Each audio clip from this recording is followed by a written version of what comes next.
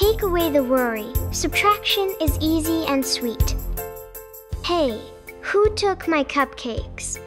Look, I have five cupcakes. They're so yummy. Hey, where did one go? Hmm, now you have four. Okay, now I have four cupcakes. That's subtraction, Bunny. Five minus one equals is. What? Tell me quickly. Four? Yes, it's four.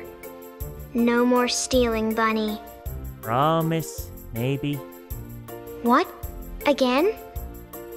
Oops, he ate two more. Only two cupcakes left. I've got my eyes on you. I'm watching them too. In my belly. That's subtraction, Bunny. 4 minus 2 equals is.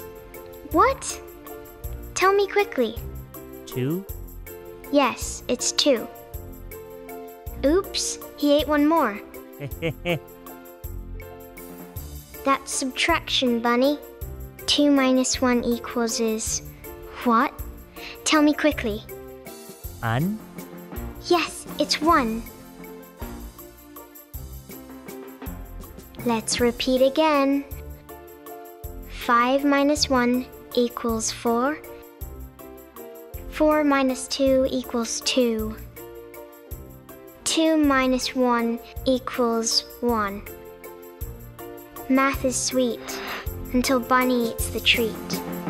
See you next time for more fun math with Tina and Bunny.